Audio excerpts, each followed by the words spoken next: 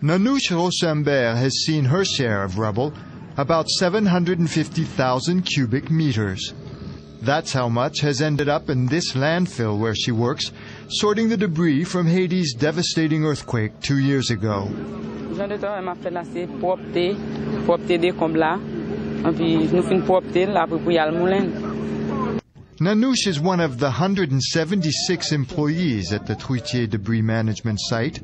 Most people working here are former unemployed garbage pickers who now have a regular income.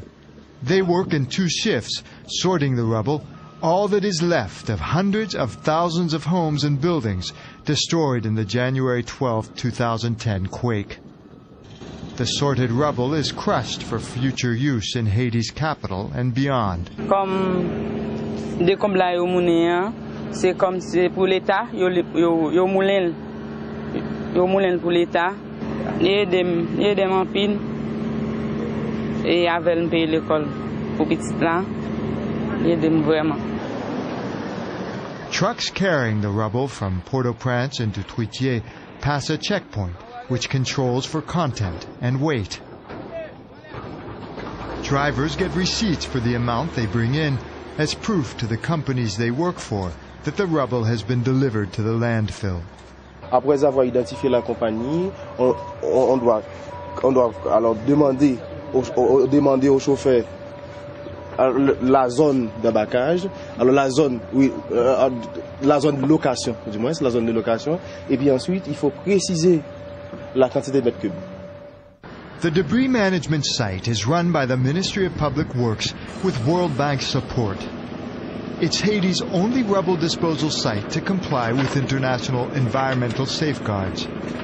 Haitian officials say this is leading other donors to invest in the large-scale debris clearance essential to accelerate reconstruction. C'était une catastrophe. Donc, euh, pour rester ici, on devait être sous un arbre. Et parce qu'il n'y avait pas de bureau, il n'y avait rien du tout, il n'y avait pas d'infrastructure, pas de route, etc. Donc on a réalisé tout ça dans, dans, dans deux ans.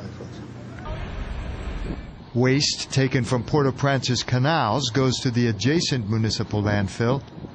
Rubble from the debris management site is being used to cover the landfill and improve conditions there. As we continue to cover, it cuts down on the smoke, it cuts down on the dust, the vermin, uh, the odor and the vermin, flies, mosquitoes, rats, it's, it's almost come under control, which is odd for any landfill, especially in the type of situation we're in here. But it's uh, just a general improvement over the site altogether. Bernard Sorel collects rubble six days a week at Truitier. He says working at the landfill is his way of helping Haiti to recover from the earthquake. Bon, quand même, parce que eh, le noir fait triagen, le moulin sable, quel que l'on soit, ça, sable après le la reconstruction pays, je crois que participation là-dedans. And it's a way to earn a salary, he says, to meet his needs and those of his baby son.